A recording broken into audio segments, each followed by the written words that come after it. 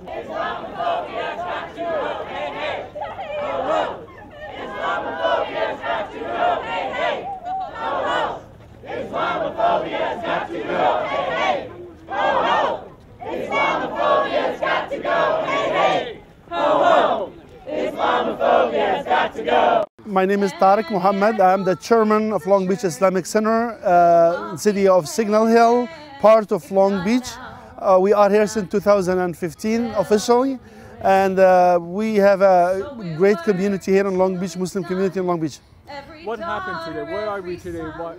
23rd of November last month, we received a threatening letter threatening me and the community, uh, asking us to leave the country, asking us to uh, prepare your luggage and leave, uh, and also they gonna, the, the claiming they're gonna do like what the Jews, what the Hitler did to the Jews. Don't give in to the racist fear. An inclusive community is welcome here. Don't give in to the racist fear. An inclusive community is welcome here.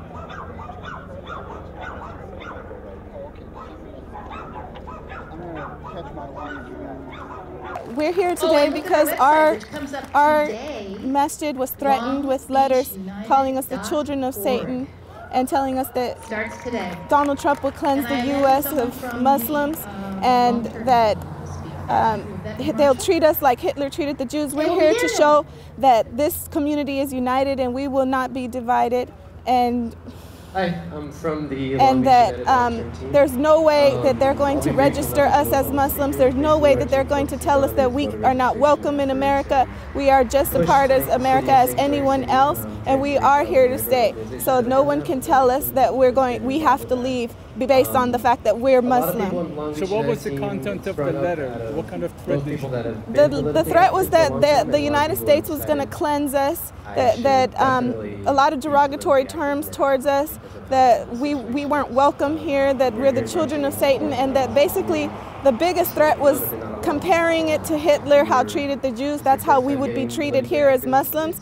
This is unacceptable. There's no way that this community is going to allow Muslims to be treated that way. So what happened today? The the rally. We have a rally with interfaith organizations, civil rights organizations, showing that Long Beach is united and we will never be divided, and we all stand in solidarity together against hate and all hate crimes. So who was here today? We have the Long Beach United, CAIR, uh, South Coast Interfaith Council, CCEG, and also um, other civil rights organizations and interfaith groups. And what's your message to the rest of the population? Our message to the population is that nobody has to love us as Muslims. Nobody has to read the Quran or become a Muslim or even come and visit us. All they all that we ask is that we be respected as humans and all that we ask of Trump is that he respect the Constitution and uphold the Constitution. That's the only thing that his, he's supposed to do. He does not have to like us as a faith group. All are welcome, all are free. Don't give in to bigotry. All are welcome, all are free. Don't give in to bigotry. All are welcome, all are free. Don't give in to bigotry. All are welcome, all are free. I'm so honored to be here to stand with everyone. You know, we are living through a very difficult time where we are being tested. Well, we will step, stand up, and we will issue the words that love trumps hate, that we are all together. We will not be divided. We will not, we will not, you know, we will not take, you know, divide and go against each other. Our Muslim brothers and sisters are part of this great fabric that makes America so great. You know, in these difficult times, I began to think about, you know, when have we, has this happened before? And I realized, I, I looked through some things and I just wanted to say, you know, that there are two states, two people that I wanted to mention. One was during the, the darkest days of the Second World War, and uh, uh, what, what, what happened was that Albert Camus wrote, and, and I just take one statement. He said, In the midst of winter, I found within me an invincible summer. Well, we are in winter in this country, but we are here together because we have found an invincible summer. We are together. Si se puede, yes we can. Si se puede, yes we can. Si se puede, yes we can. Yes, we can. Si se puede, yes we can. Be divided. The people united will never be divided. The people united will never be divided. My name is Samia Mohammed. I am a student at Long Beach City College and I go to this mosque. Um, we did a rally today um, in spirit of you know hate crimes that are going around and we want to kind of prevent that from continuing so we decided to you know uplift the spirit of the community and go ahead and go through you know different churches and different synagogues to uh, invite them to come over to you know sit with us and, and be a part of you know our beautiful community. My name is Latrina Moore and I'm a community member here in Long Beach and I attend the Long Beach Islamic Center. Um, we got a letter of hate um, from someone um, and it stated that uh, they wanted us to be punished like the Jews were punished during Hitler and we as a community organized um, with LB United and many other councils uh, in Long Beach, including the Islamic Center of Long Beach. And we decided to have a peace rally, a rally of um, different face and interfaith and a lot of community members here in Long Beach. So we decided to have a rally and it came out great. The people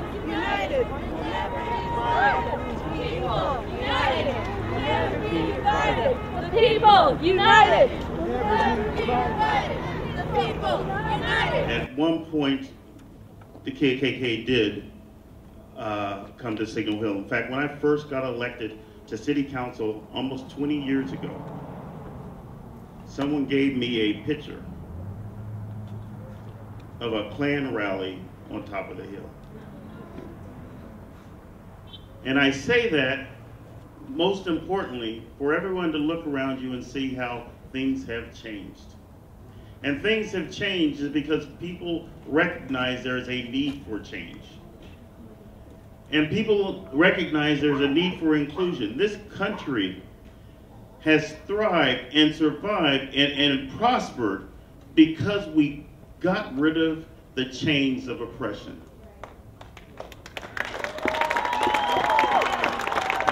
This country is great because we got rid of all of the hate.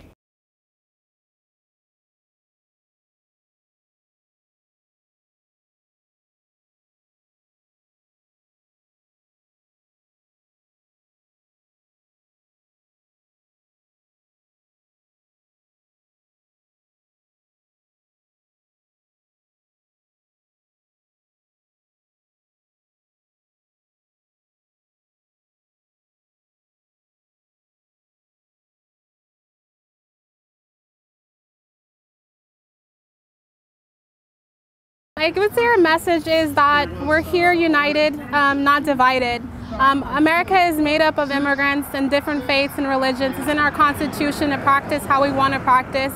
That's why it's the United States of America.